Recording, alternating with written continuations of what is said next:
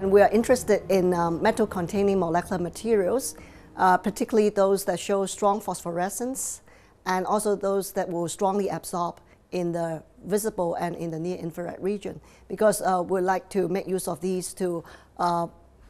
try to um, uh, sort of contribute in the sense of uh, in terms of the energy uh, problem.